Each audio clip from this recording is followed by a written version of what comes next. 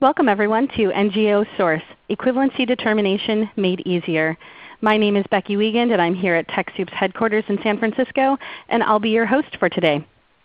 Before we get started with introductions of our presenters, I want to go ahead and just make sure you understand how to use ReadyTalk, our tool that we're using today to host this webinar. You can chat to us and raise your hand through the duration of the webinar by using this little box on the lower left side of your screen. Feel free to chat questions. Let us know if you have any issues with the audio, or tell us how you're doing today in that chat window. If you're hearing an echo with your audio, you may be logged in more than once and you may need to close one of those windows. We do keep all lines muted today for the duration of the webinar so that we can capture a clear recording so that you can listen and share it with your colleagues after. If you lose your Internet connection, please feel free to join the webinar through one of the reminder emails or confirmation emails. You would have received one about an hour ago. You can also contact ReadyTalk support at 800-843-9166 if you have any technical issues that we can't help you solve. And if you have any issues with the audio in general, you can feel free to join the call by dialing in by phone or Skype to the number that was chatted out in the chat window. Most of you though will be hearing the audio play through your computer speakers. We do record these sessions so that you can view them at your convenience, and you will receive a link to this presentation and the materials later today. If you feel like tweeting about today's event, you can tweet at TechSoup. You can also tweet the NGO source hashtag. A quick bit of information about our presenters. Again, my name is Becky Wiegand and I'm your facilitator for today's event. And I'm an interactive events producer here at TechSoup. I've been with the organization for about 6 years, having previously worked for around a decade in Washington, D.C. for small nonprofits. And here at TechSoup we help to write and create content and administer donation programs that support the technology needs of nonprofits, public libraries, and foundations. So if you are joining us from any of those types of organizations, please join us at TechSoup.org to see what types of resources are available for you. Also joining us today, we'll have Jim Greenbaum, the founder and managing director of the Greenbaum Foundation. He founded and became the CEO of Access Long Distance in 1985. And seven years later, at the age of 33, he made the decision to give the corporate world another seven years before then dedicating his life to working on a variety of causes that he feels strongly about, including things like ending slavery and working on a variety of foundation support programs. And he'll be speaking, us today, speaking with us today about his experience using NGO Source. We'll also be joined by Ken Tsunoda, who is the General Manager of NGO Source at TechSoup Global, which is one of our programs. And his team works to build NGO Source, which is a leading resource for grant makers to obtain equivalency determinations, which we'll talk a bit about in a little while. He's also worked in management for nonprofits, technology startups, and leading global firms. Pre he previously served as Executive Director of the Sager Family Foundation, which incubates startup social ventures in conflict areas. So we'll hear more from them later on in the program. And you'll also see assisting with chat Shab Sigman, and you may also see Megan Hansen, who are both joining us from TechSoup and NGO Source. So thank you so much. We'll go ahead and look at our agenda for today. And we'll hear from first Jim Greenbaum to talk about his experience as an international grant maker and how that's helped how using NGO Source has helped him and his organization better serve their organizations overseas. Then we'll hear from Ken who will give us an NGO Source overview give us a short tour of NGO Source, and talk about how to get started. We'll have ample time for your questions and answers. So at any point during the webinar, feel free to chat those into us so we can help field those questions during the webinar and again throughout, throughout the Q&A at the end. With that, I'd like to welcome to the program our first presenter, Jim Greenbaum. Welcome to the program, Jim. We're glad to have you. Oh, thank you, Becky. And for those of you that aren't aware, that was not a pre-recorded conversation by Becky. She actually talked to us before the call, so even though she didn't make any mistakes, she is alive and well. Um, I want to wish a good morning to all of you out there on the West Coast. I know there are a couple of you, and good afternoon or evening to many of the rest of you.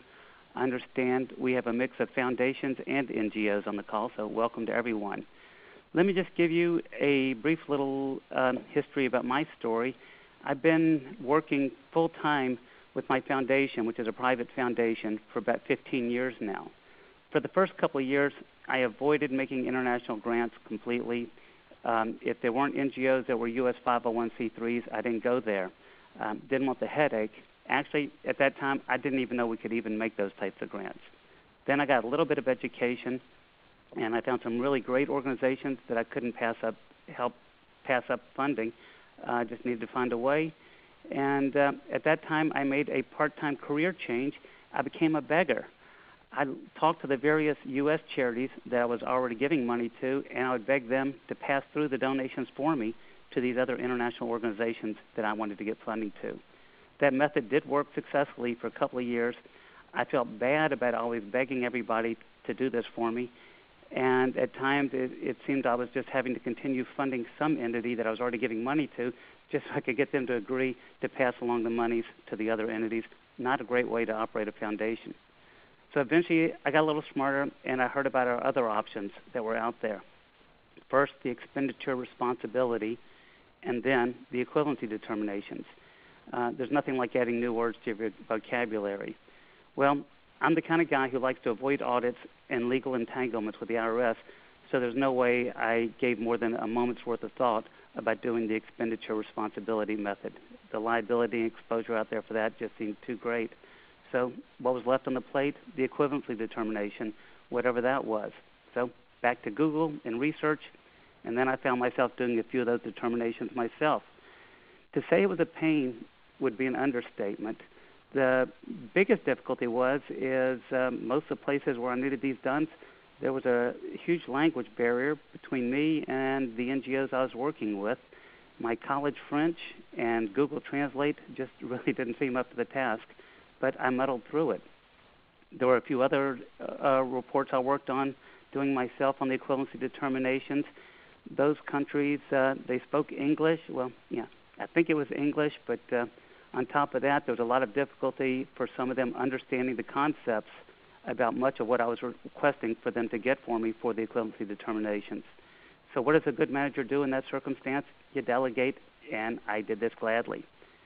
I gave this task to my staff, and one year it was to a friend who offered to help. The next year, it was my daughter who was about to start graduate school. They did both good jobs with doing it, but I was, always a bit worried about whether we were doing everything exactly as the IRS required.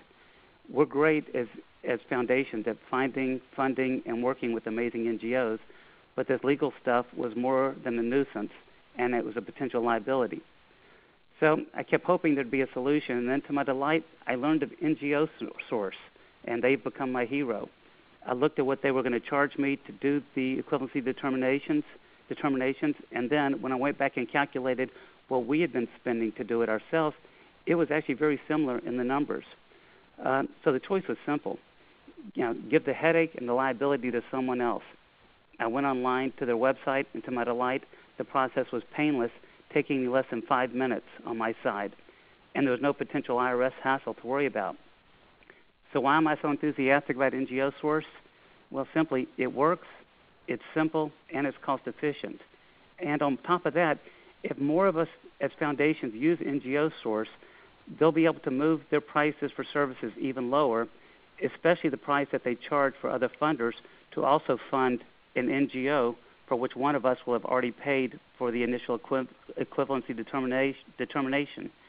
That, in the end, will help the NGOs get more money from funders, and getting more funds to them is what we're all about.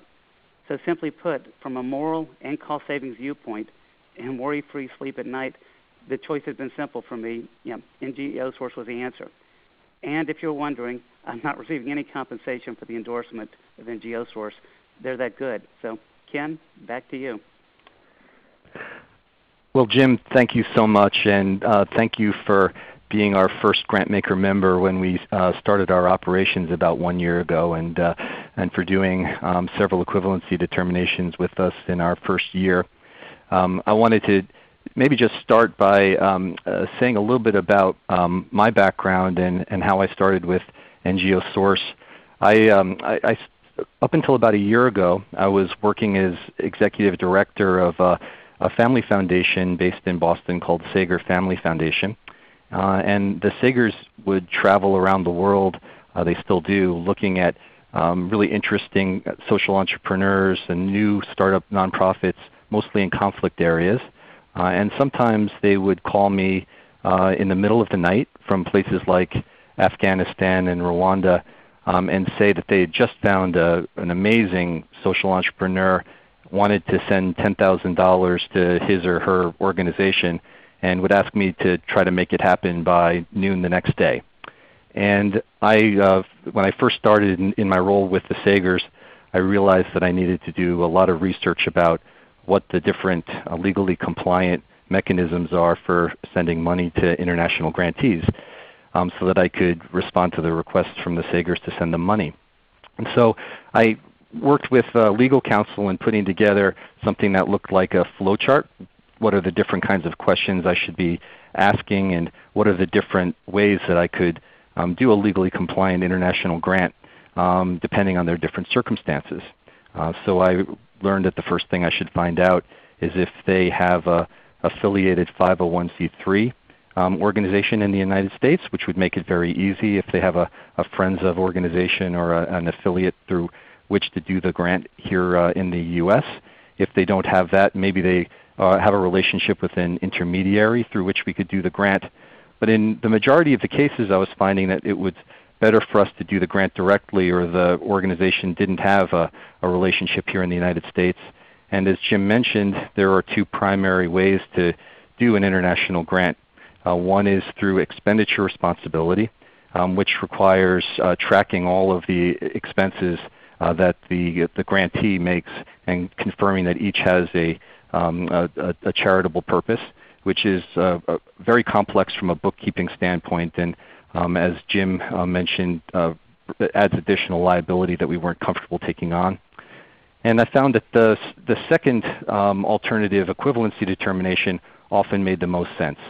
Um, so equivalency determination means evaluating whether or not the organization is equivalent to a 501c3 uh, public charity in compliance with U.S. Um, IRS regulations. And I found if we did an equivalency determination that it often um, uh, was the easiest way to do it because we only would have to go through the process once and wouldn't have to uh, track expenses.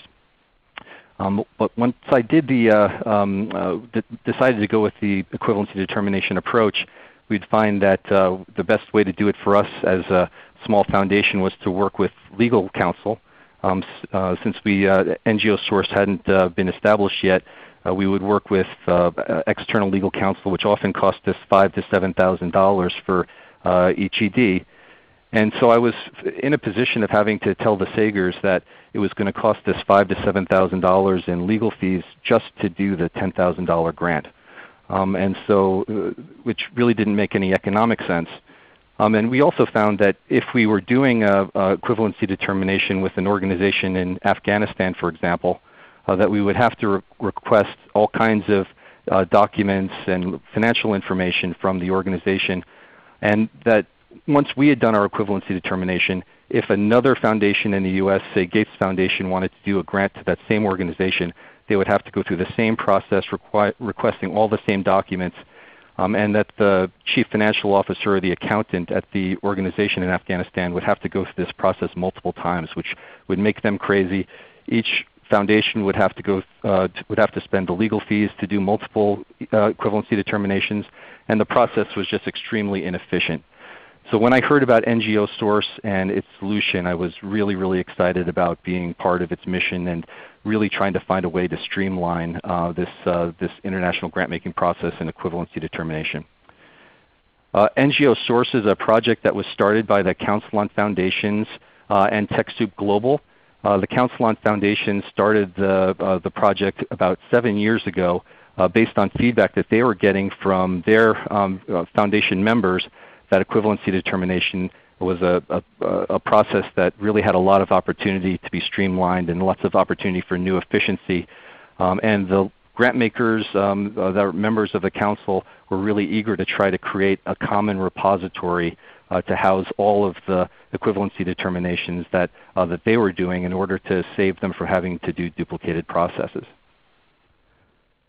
Um, so again, equivalency determination is an evaluation under U.S. tax law of whether a non-U.S. organization is equivalent to a U.S. public charity in compliance with IRS regulations.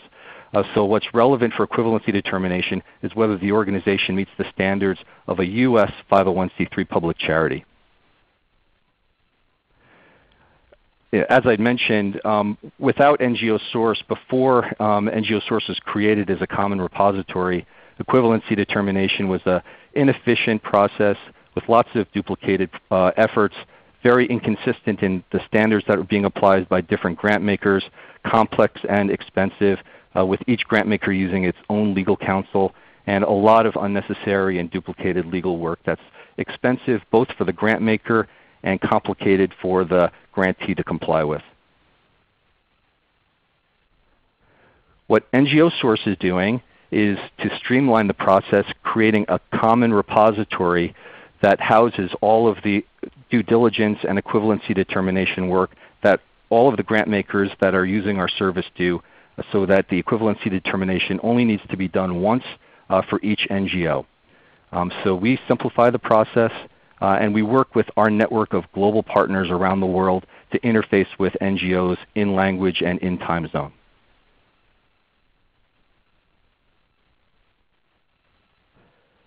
So to give you a quick overview of our process and how it works, a grant maker will request an equivalency determination on our web-based portal. And the NGO then submits information on a questionnaire portal that we've created uh, that is available to them in four different languages, uh, English, Spanish, French, and Mandarin Chinese. And they work with our global partners. Uh, we have eight of them now in each region of the world uh, so that they can get their questions answered uh, in their language. Um, and the global partners work with them to make sure that um, they understand the questions. Um, uh, if any legal questions come up, they can help them with frequently asked questions and, and coach them through the process. They collect the questionnaire responses, financial information, and governing documents translated into English through the web-based platform, and then send that package to our ED review team of qualified pra tax practitioners uh, here in San Francisco. Uh, so we're fortunate to have on our team uh, two attorneys, uh, Sheila Warren, uh, who is our general counsel uh, and comes from Adler and Colvin where she was an expert in international grant making, legal counsel, and also has lots of experience with equivalency determination. And Megan Hansen, who is on the line with us today, who worked for nine years at Gates Foundation handling all of their equivalency determinations. Uh, so we have a legal team that is are leaders in the field with uh, expertise in, uh, in international grant making who does the review.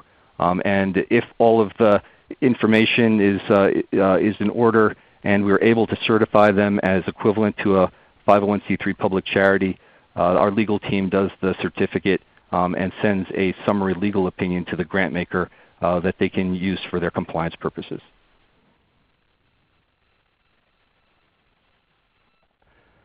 So here is a list of uh, some of our member grant makers who have uh, said that we could use their, uh, their names publicly. Um, we have uh, in our first year been able to get many of the leading international grant makers in the field.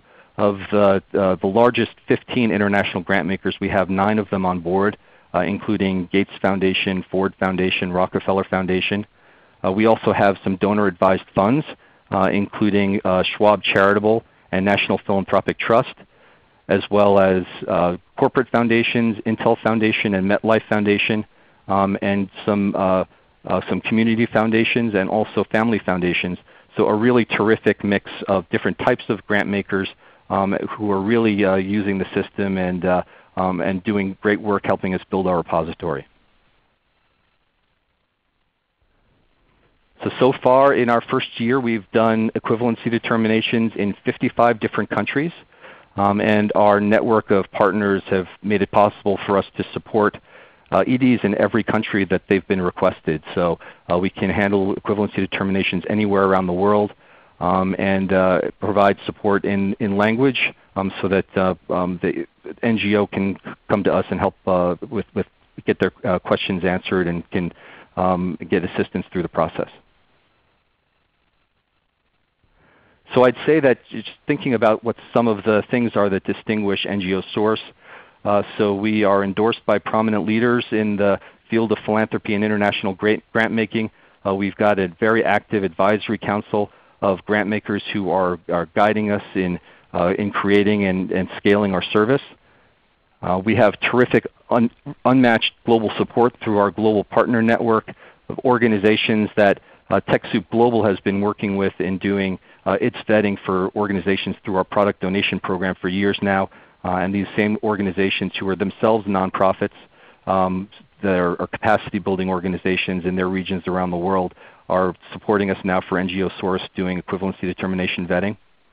Uh, we've invested a lot in a custom designed technology platform uh, and an automated online service both for the grant maker and for the grantee.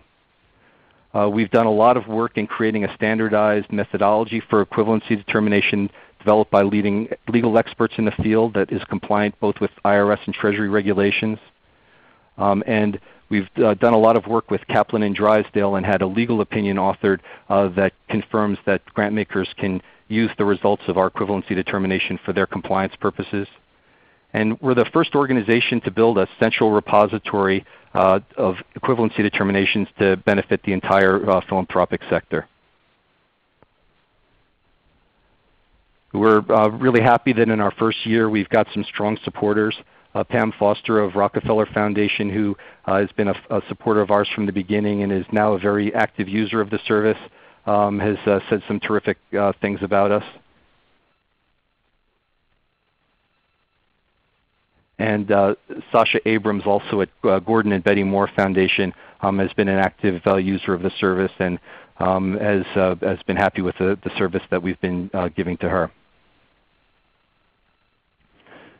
So I think now what I'd like to do is to transition into doing a quick uh, demonstration of our system. And I'm just going to show you a couple of the, the highlights um, without taking you into too much detail. Um, but if any of you are interested in having a, uh, a more detailed demonstration later, uh, please feel free to reach out to us and, and uh, uh we will be really happy to give you uh, um, a more detailed um, online demo.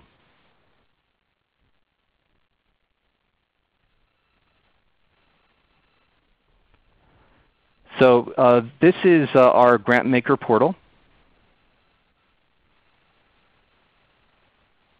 We just need to wait for just a moment for it to load. It, it's showing up for me and let us know in your chat window if for some reason it takes a moment to load on your end so that we can slow down or take a second to allow it to render on screen. It's showing up for me Ken, so go ahead. Terrific. So as a grant maker, when you come into our grant maker portal, uh, this is the dashboard that you see. And uh, as you can see, it gives you an overview of the equivalency determination requests that you um, have in, in, process and also the ones that you've completed. Um, so we use this color-coded system to show grant makers where we are in, in, in terms of status of, of, processing their equivalency determinations, uh, the, the name of the NGO, um, where we are in the process, whether it's the uh, grant maker, the NGO processing, or NGO source that's doing its review, or whether it's complete. Um, a detailed status report here, um, and a due date for the equivalency determination. Um, and of course we have uh, a customer service team that's available to ask, answer any more specific questions that you have about uh, where equivalency determinations are in the process. Uh, we are able to commit to a 6-week turnaround time in uh, doing equivalency determinations from the time of the request to when it's completed. Uh, we actually find that we're able to do it on average in 4 weeks. Uh, and it takes us 2 weeks from the time that we receive the completed questionnaire and all of the materials from the NGO to do our legal review. Uh, and it's also possible through our dashboard to get a geographic representation of where the equivalency determinations are.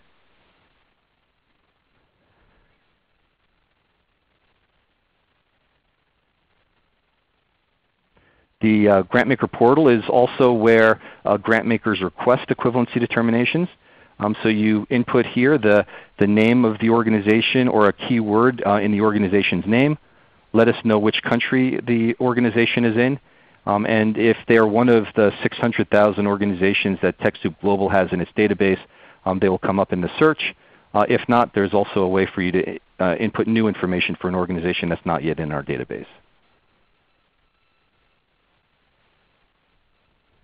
Um, here is some basic information about uh, the GrantMaker account. Uh, we're able to customize it so that um, grant makers um, can have different views of the, uh, the grant make, the um, equivalency determination information. Uh, for example, if you have different offices around the world who have requested um, uh, equivalency determinations for grant, grantees in their regions, we're able to customize the, the view that each of them gets. And here's a more detailed uh, uh, picture of the, um, the equivalency determination request that this grant maker has done. So that gives you a, a high-level sense of what's available in terms of web-based tools for the grant maker. And I thought what I would do next is show you quickly what it all looks like from the perspective of the grantee. So we've done a lot of work in creating a web-based wizard um, that the NGO uses in um, answering the questionnaires re related to the, um, uh, the equivalency determination. So this wizard takes the NGO just to the questions that is necessary for it to answer um, based on the pre previous responses that they've given to our questions. So information about their charity type, information about their tax exempt status, and then information about the public charity test. So for example, um, we ask um, organizations to input here five years of financial information, and we use that information to do uh, the, the, um, the, public charity test to uh, ensure that they have the required amount of public support to pass the determination. So the, we have made this as simple as possible for the NGOs to respond to with lots of, uh, of help windows so that they can get answers to questions about how terms are defined um, and, and try to make it as easy as possible for them to understand what it is that uh, we're asking since they obviously don't have lots of, uh, of background in international tax issues. Uh, so we try to give them here as much information as they need to, uh, to be able to easily answer the questions. And we've done this, uh, we've created this wizard in four different languages. So in addition to English, Spanish, French, and Mandarin Chinese, and this year we're bringing on with support of the Ford Foundation, uh, Portuguese as a fifth uh, language, and, and, we're bringing on our Brazilian partner as a, as a ninth um, a global partner so that we can provide equivalency determinations in Portuguese as well. I thought I would just show you what this all looks like uh, in, in Mandarin Chinese. So again, trying to make it as easy as possible for NGOs to respond in their language. So again, that's just a very quick look at the, um, at the web-based tools that we've created. And if any of you are interested in getting a more detailed demo, I'll be very happy to, to do that with you.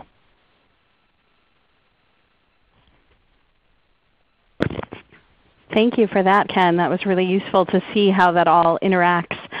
We do have a few questions here. Um, I wasn't sure if you wanted to talk a little bit about the small organization special that is happening right now before we move into the Q&A. Yeah, so why don't I just say a little bit about um, what you can do to get started as an NGO Source member uh, and uh, how our, our fees are set up. So um, we have four different membership levels depending on um, how many equivalency determinations you're planning to do each year.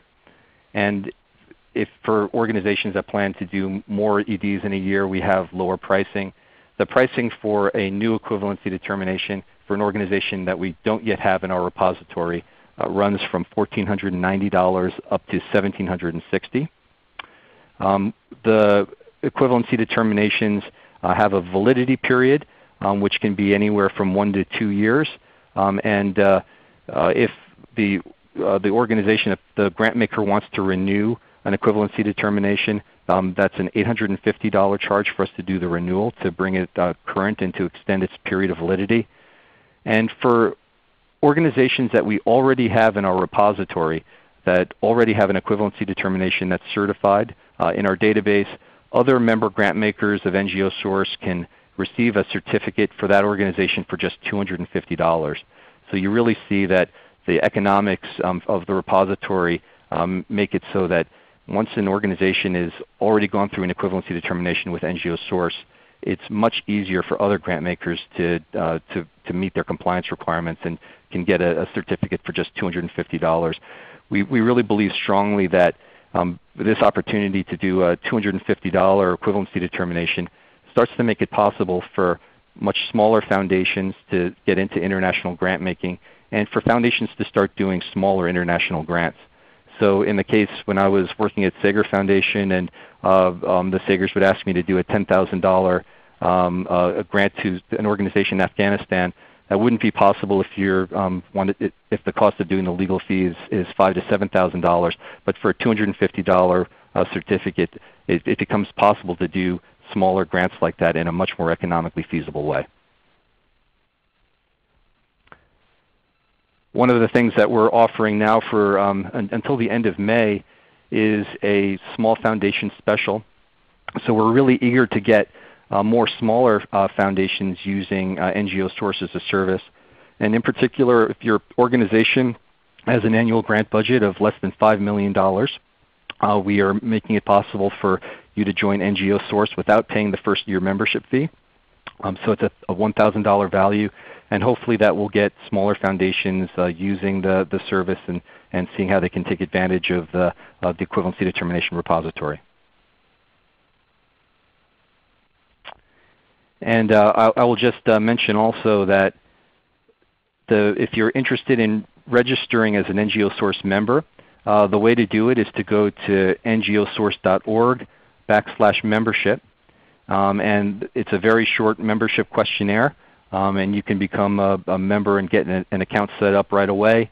Um, and again, if you're um, a, a, grant maker with $5 million or less annual giving budget, just select Small Foundation Special and we can get you started right away without a fee.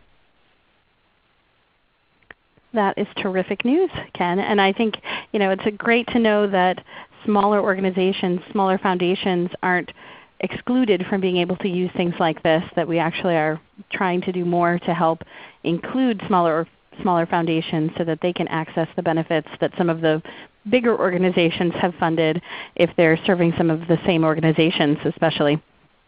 So we do have a couple of questions. We have um, Kimberly asked, are you able to provide any support for NGOs that have difficulty or are unable to access the online services due to their own technology barriers?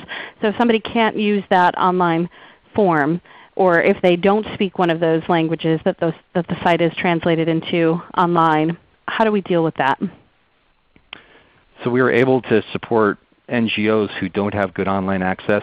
Our uh, global partners are set up to receive responses to the questionnaire in, from, uh, a paper-based form uh, through, through fax, or um, they're very accustomed to working with organizations to get the responses to the question in the way that's most convenient for the grantee. So we're certainly able to help organizations that don't have good online access. Currently the questionnaire is translated only into Spanish, French, and Mandarin Chinese with Portuguese coming on online this year. Uh, but our global partners are able to, in many cases, support additional languages as well, um, so can answer uh, questions, certainly not in all languages, but uh, in additional languages beyond those four um, as well. And we certainly try to do our best in communicating with the grantees in a language that's comfortable with them. And for the global partners, are those the ones that are listed on the TechSoup Global website as partners, like our, our partners that are in 65 or so countries? The NGO source partners are a subset of that group. So right now we have eight global partners that are set up to support NGO source uh, with a, a, ninth one coming on this year in Brazil. Um, so they are a, a, represent all of the major regions and, and can uh, uh a cross section of languages. Um, so we are supporting all of we're supporting uh, grantees across the world through those uh, those eight partners. That's great and good to know that it's expanding. So Annie has a question asking, how often do NGOs need to be recertified? Is there a standard timeline or is that something that just happens when it looks like the info is out of date? There's a, a number of different scenarios there and the validity period for equivalency determination certificates can be anywhere from one to two years. Megan, let me uh, ask Megan Hanson, our legal counsel, to respond to that. I think she can give you a more detailed answer. Hi, Ken. Can you hear me? Yes, I can. Okay. So, yeah, so Ken, you answered the question pretty um, specifically. So most EDs are valid for one to two years um, after the, we, we certify EDs based on fiscal year. So depending on the type of organization, most often EDs are valid for two years.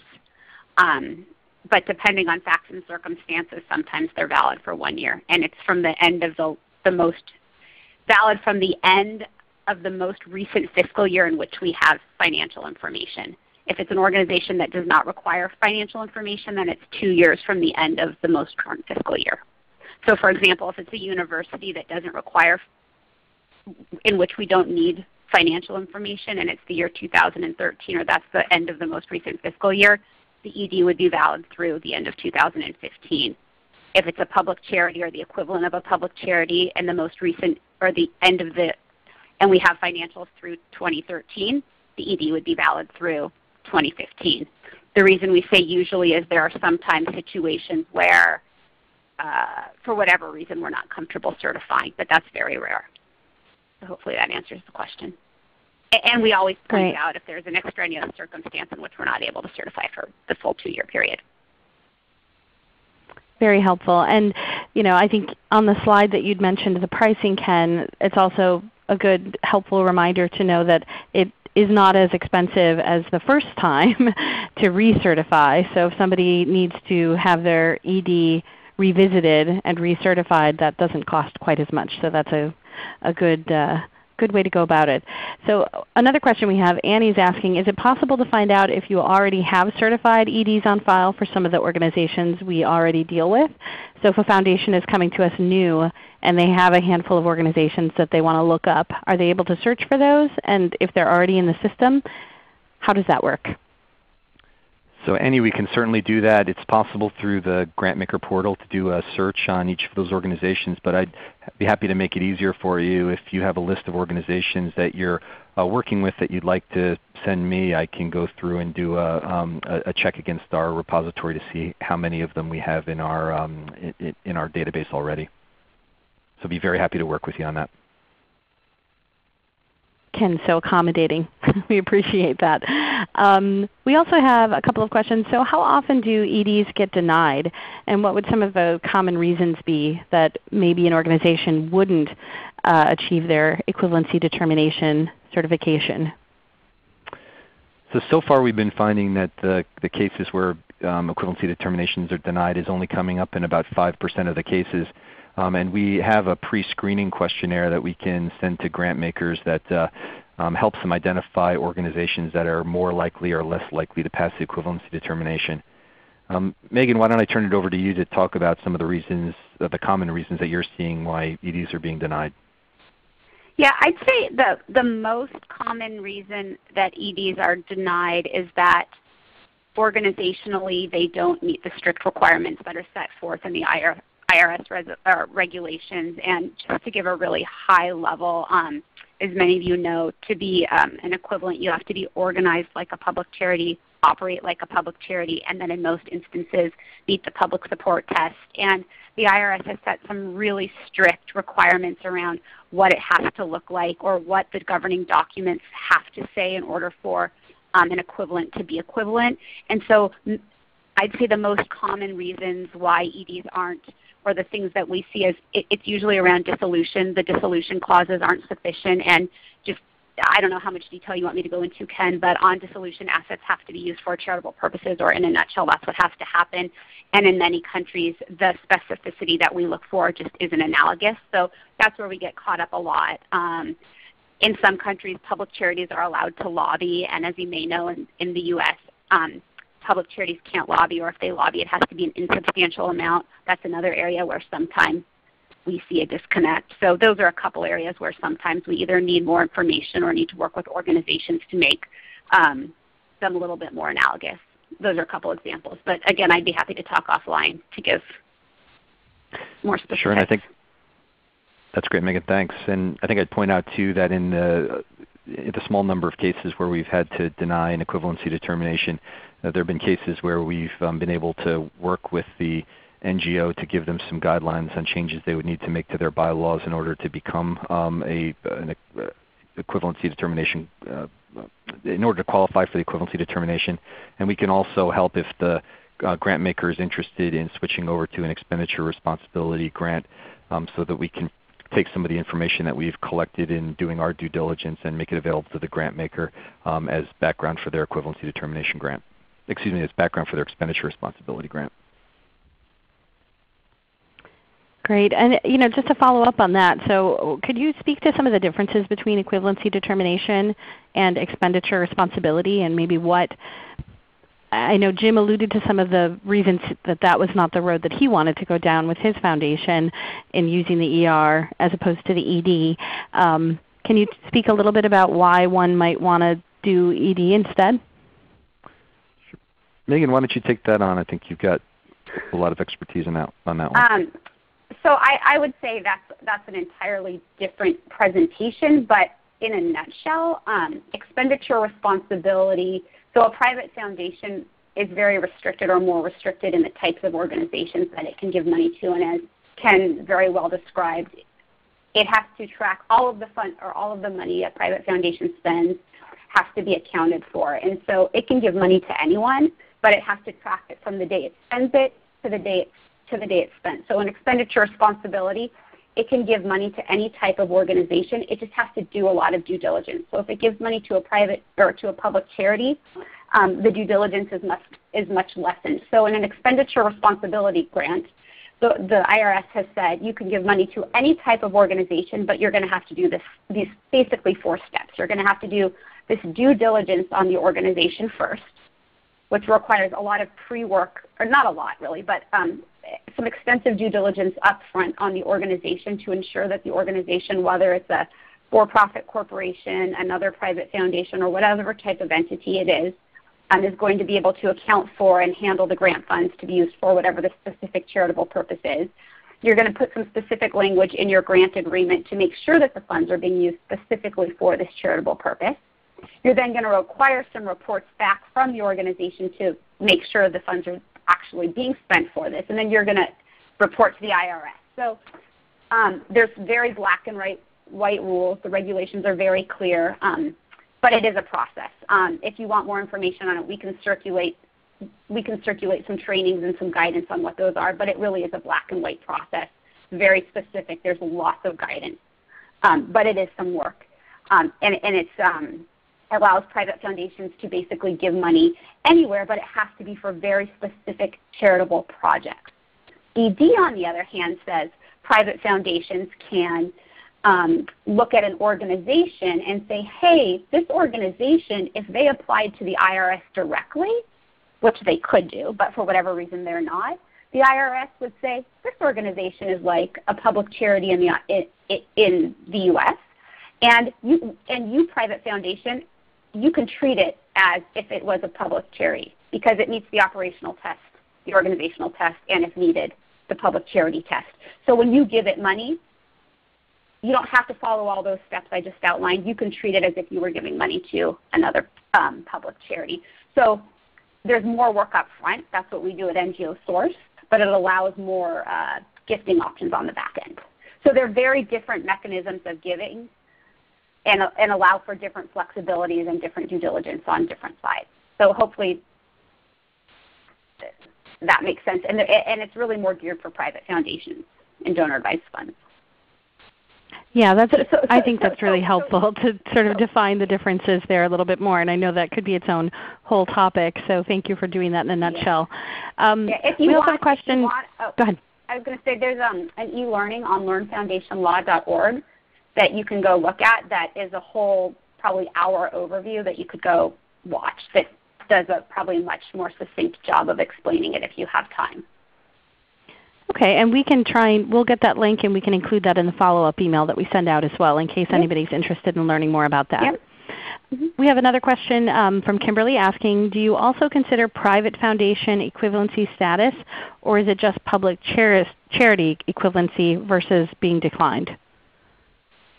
So I can probably answer that as well.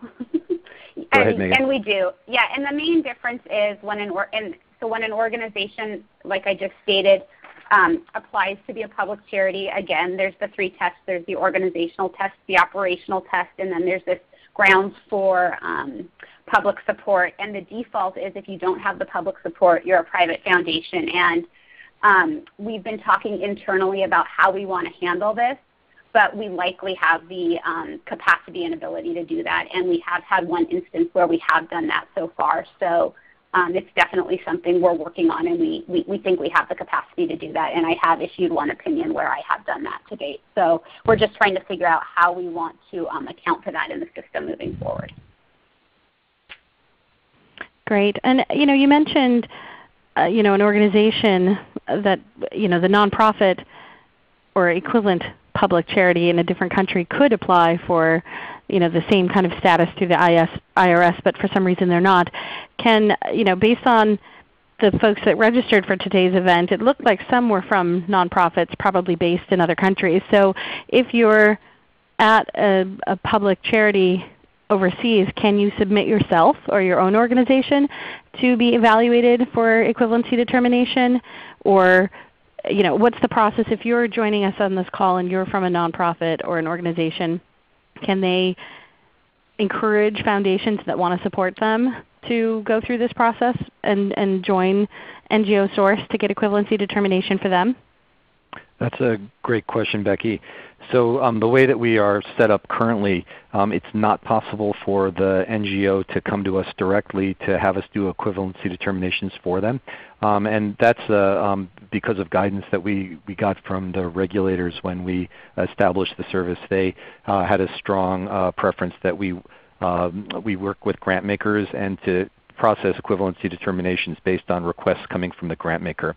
Um, so right now the best way to, for an NGO overseas to get into the NGO Source repository would be to work with a US-based grant maker. If you have a foundation funder or an, another US-based donor um, that could work with you in uh, um, doing the request to NGO Source, uh, we'd be very uh, happy to support that.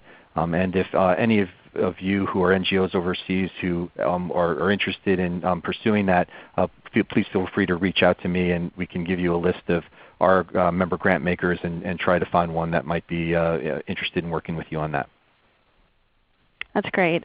Um, we also have a question from Jim asking, would an operating foundation need to use equivalency determinations or only non-operating foundations? Why don't you take that, Megan? If they're making grants, yes. All right. Well, unless there aren't other questions, if you have any other ones, feel free to post them in the chat window quickly because we are about to wrap up here in just a moment. And I'd like to just make sure that people have seen where they can get more information on NGO Source at ngosource.org and also where they can get information about membership. And then back over here we had information about that Small Foundation Special from now through the end of May where if you are have an annual grant budget of less than $5 million that you can join your first year for free, which is a great benefit. And so with no other questions coming in at this point, we can go ahead and wrap it up. Oh, Ken has one other thing he'd like to say, so let me bring him back on the line. I would just like to, um, to thank you all in, in closing for, um, for being interested in NGO Source and for spending this hour with us today. Um, I hope that this has answered a lot of your questions about NGO Source. Um, for any of you who are considering becoming an NGO Source member um, but still have a couple of unanswered questions, um, please don't hesitate to get in touch with me. We'd be really happy to work with you. Uh, my email address is ktsunoda at TechSoupGlobal.org. Um, please don't hesitate to get in touch. Um, if you're interested in speaking to some of our current mem uh, member grant makers to ask um, them what our, their experience has been like, I'd be happy to make those introductions as well. Uh, thank you again and uh, look forward to working with you. Thank you for that, Ken. And I would like to thank you for your presentation. And I'd also like to thank Jim Greenbaum for his presentation and sharing information about NGO Source and how it's been useful for them. Thank you all for participating today. And I'd also like to lastly thank our webinar sponsor, ReadyTalk, who provides the use of this webinar platform so we can provide these events on a regular basis. You can view other webinars that we present at TechSoup.org slash community. And please take a moment to complete the post-event survey that pops up so we can continue to improve our program. Thank you to Megan for also helping answer questions and to Shab for helping field them on the back end. I hope everyone has a terrific day and will join us at ngosource.org. Thanks so much. Bye-bye.